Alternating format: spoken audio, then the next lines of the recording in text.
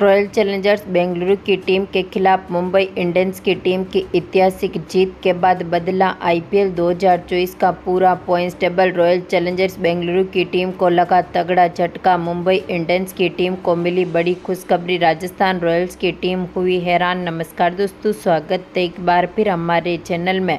Mumbai Indians और Royal Challengers Bengaluru की team के बीच आईपीएल 2024 के 25वें महामुकाबले के बाद पॉइंट्स टेबल में बड़ा उलटफेर देखने को मिला।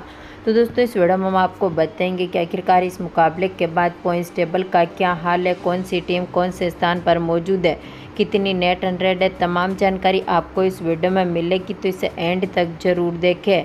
साथ ही चैनल को सब्सक्राइब नहीं किया है तो आईपीएल से जुड़ी हर एक लेटेस्ट अपडेट के लिए चैनल को सब्सक्राइब करके बेल आइकन ज़रूर दबा लें।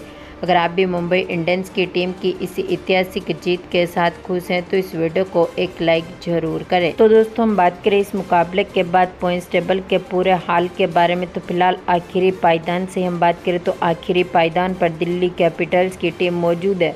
जहाँ पर दिल्ली कैपिटल्स की टीम ने आईपीएल के पाँच मुकाबले खेले। एक मुकाबला जीता, चार मुकाबले हारे। इस टीम के पास फ़िलहाल दो पॉइंट मौजूद है। नेट एंड रेड माइनस एक पॉइंट तीन सात ज़ीरो के साथ ये टीम नंबर दस पर बनी हुई है। और दिल्ली कैपिटल्स की टीम के पास अब आईपीएल के नौ मुकाबले बचे हुए हैं, जिसमें से अगर दिल्ली कैपिटल्स की टीम अपना एक भी मुकाबला गंवा देती है तो फिर पॉइंट्स टेबल की राह से पूरी तरह से बाहर होती हुई दिखेगी। यानी कि दिल्ली कैपिटल्स की टीम के यहाँ पर 30 परसेंट चांस बनते हैं कि वह अब क्वालिफाई में अपनी जगह बना पाएगी। तो पर नंबर नौ पर रॉयल चैलेंजर्स बेंगलुरु की टीम मौजूद है, जहाँ पर आर की टीम ने आईपीएल के छः मुकाबले खेले। एक मुकाबला जीता, पाँच मुकाबले हारे। इस टीम के पास फ़िलहाल दो पॉइंट मौजूद है। नेट रन रेट है माइनस ज़ीरो पॉइंट छः ज़ीरो दो के साथ इस टीम ने फ़िलहाल नंबर नौ पर जगह बना रखी है। लेकिन अब यह टीम क्वालिफाई की राह से लगभग पूरी तरह से बाहर हो चुकी है, क्योंकि इस टीम के पास अब आईपीएल के मात्र आठ मुकाबले बचे हुए हैं। अगर आठवें मुकाबलों को यह टीम बेहतरीन तरीके से जीत भी जाती है, फिर भी यह टीम लगभग क्वालिफाई की राह से पूरी तरह से बाहर होती हुई दिखेगी। पर नंबर आठ पर मौजूद है। अब मुंबई इंडियंस की टीम, जहाँ पर मुंबई इंडियंस की टीम ने आईपीएल के पाँच मुकाबले खेले। दो मुकाबले जीते, तीन मुकाबले हारे। इस टीम के पास फ़िलहाल चार पॉइंट मौजूद है। Net run rate minus zero point छः दो के साथ ये टीम फ़िलहाल नंबर आठ पर बनी हुई है। लेकिन अब मुंबई इंडियंस की टीम को भी अब अपने बचे हुए सभी मुकाबले बेहतरीन तरीके से जीतने होंगे। अगर यहाँ से मुंबई इंडियंस की टीम अपने मुकाबले गंवाती है तो यह टीम भी क्वालिफाई की राह से बाहर होती हुई दिखेगी। लेकिन अब मुंबई इंडियंस की टीम काफ़ी बेहतरीन फॉर्म में उतर चुकी है तो ऐसे में यहाँ पर मुंबई इंडियंस की टीम के 50 परसेंट चांस बनते हैं कि वह क्वालिफाई में अपनी जगह बना पाएगी। तो पर नंबर सात पर मौजूद है पंजाब किंग्स की टीम। जहाँ पर पंजाब किंग्स की टीम ने आईपीएल के पाँच मुकाबले खेले। दो मुकाबले जीते, तीन मुकाबले हारे। इस टीम के पास फ़िलहाल चार पॉइंट मौजूद है। Net rate minus zero point एक नौ छः के साथ इस टीम ने नंबर सात पर जगह बना रखी है। यानी कि पंजाब किंग्स की टीम के पास भी अब नौ मुकाबले बचे हुए हैं, जिसमें से इस टीम को आठ मुकाबले बेहतरीन तरीके से जीतने होंगे। और यह टीम भी क्वालिफाई कर जाएगी। तो वहीं पर नंबर छः पर मौजूद है गुजरात टाइटेंस की टीम, जहाँ पर गुजरात टाइटेंस की टीम ने आईपीएल के छः मुकाबले खेले, तीन मुकाबले जीते, तीन मुकाबले हारे। इस टीम के पास फ़िलहाल छः पॉइंट मौजूद है। Net run rate minus zero point छः तीन सात के साथ इस टीम ने नंबर छः पर जगह बना रखी है। यानी कि अब क्वालिफाई में अपनी जगह बनाने के लिए इस टीम को अपने बचे हुए आठ मुकाबलों में से हर हाल में सात मुकाबले बेहतरीन तरीके से जीतने होंगे, तभी यह टीम क्वालिफाई में अपनी जगह बना पाएगी। तो इस पर नंबर पाँच पर मौजूद है सनराइजर्स हैदराबाद की टीम जहाँ पर हैदराबाद की टीम ने आईपीएल के पाँच मुकाबले खेले, तीन मुकाबले जीते, दो मुकाबले हारे। इस टीम के पास फ़िलहाल छः पॉइंट मौजूद है। Net run rate plus zero point तीन चार चार के साथ इस टीम ने फ़िलहाल नंबर पाँच पर जगह बना रखी है और अब क्वालिफाई में पहुँचने के लिए इस टीम के पास नौ मुकाबले बचे हुए हैं, जिसमें से इस टीम को सात मुकाबले बेहतरीन तरीके से जीतने होंगे।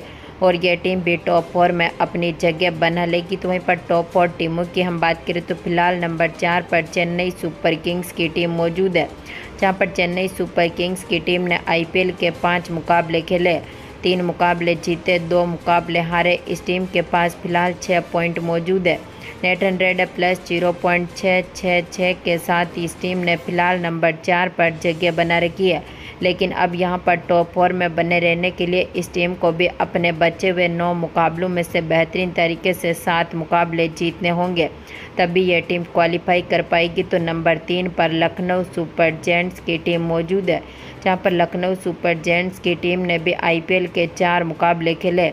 तीन मुकाबले जीते, एक मुकाबला हारा। इस टीम के पास फ़िलहाल छः पॉइंट मौजूद है। Net rate plus zero point सात सात पाँच के साथ इस टीम ने नंबर तीन पर जगह बना रखी है। यानी कि यहाँ पर क्वालिफाई में इस टीम को भी पहुँचने के लिए अपने बचे हुए दस मुकाबलों में से हर हाल में सात मुकाबले बेहतरीन तरीके से जीतने होंगे। और नेट हंड्रेड को भी बेहतरीन करना है, तभी यह टीम टॉप फोर में अपनी जगह बनाए रख पाएगी। तो वहीं पर टॉप टू टीमों की बात करें तो फ़िलहाल नंबर दो पर कोलकाता नाइट राइडर्स की टीम मौजूद है, जहाँ पर कोलकाता नाइट राइडर्स की टीम ने आईपीएल के चार मुकाबले खेले। तीन मुकाबले जीते, एक मुकाबला हारा। इस टीम के पास भी फ़िलहाल छः पॉइंट मौजूद है। नेट हंड्रेड प्लस एक पॉइंट पाँच दो आठ के साथ इस टीम ने नंबर दो पर जगह बना रखी है। यानी कि कोलकाता नाइट राइडर्स की टीम के पास भी अब यहाँ से 10 मुकाबले बचे हुए हैं, जिसमें से इस टीम को सात मुकाबले बेहतरीन तरीके से जीतने होंगे। तो पर नंबर वन पर फ़िलहाल राजस्थान रॉयल्स की टीम मौजूद है, जहाँ पर राजस्थान रॉयल्स की टीम ने भी आईपीएल के पाँच मुकाबले खेले।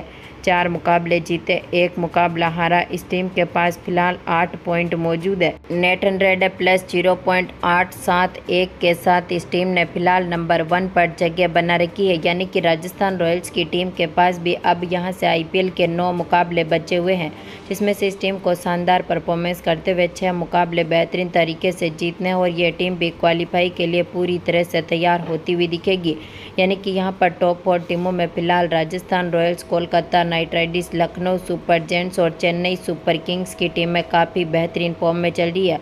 तो पर हैदराबाद की टीम भी इसी रेस में मौजूद है, लेकिन गुजरात टाइटन्स की टीम की नेट हंड्रेड अभी भी यहाँ पर बेहतरीन करनी है। तो इसके साथ ही पंजाब किंग्स की टीम के लिए भी यहाँ से मुश्किलें खड़ी होती हुई दिखेगी। तो ऐसे में यहाँ पर आपको क्या लगता है, वो कौन सी चार टीमें रहेगी जो क्वालिफाई करेगी? अपनी कीमती राय कमेंट बॉक्स में ज़रूर दें और इस वीडियो को ज़्यादा से ज़्यादा लाइक और शेयर ज़रूर करें। धन्यवाद दोस्तों।